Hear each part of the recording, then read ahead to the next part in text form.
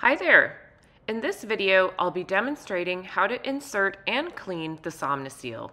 First, without the optional mouth tape, and second, with the optional tape.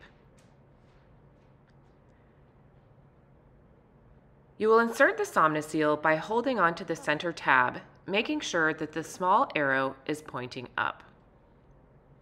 After getting ready for bed, and before you put on your CPAP, gently insert the SomnoSeal behind the lips and in front of the teeth. Adjust it as needed for comfort.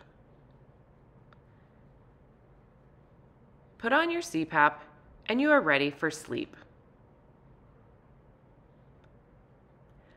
Use the optional mouth tape if you have trouble keeping the SomnoSeal in your mouth overnight. First, insert the SomnoSeal. Then place one piece of tape vertically over your lips under your nose.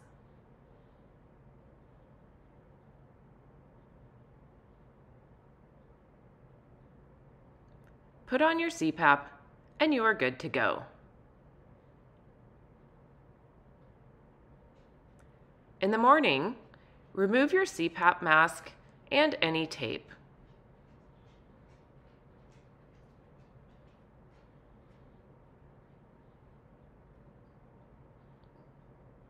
Then head to the sink.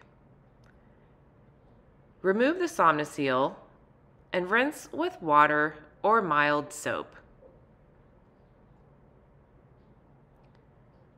Allow it to air dry on the stand provided in your starter kit and keep it where you'll see it the next night. That's it!